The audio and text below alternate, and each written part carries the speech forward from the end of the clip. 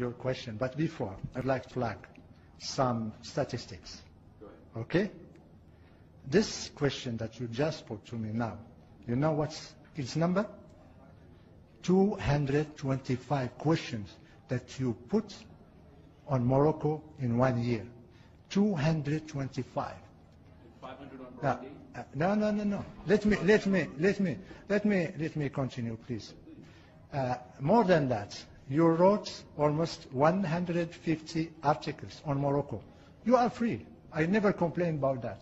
I'm just telling you that you never put any question on Polisario. You have never put any question on Algeria. You have never put any question on Venezuela. So, but I will now, now that everybody knows which kind of journalist you are. No, no, sorry. So let me, you, you, you ask me, you ask me, you ask me, you, you ask me to, It's not a you, crime to write articles. you want, no, no, you have, you have a right to, to put any question. But I'm just telling you, and I want that the world should know who you are and whom you are targeting.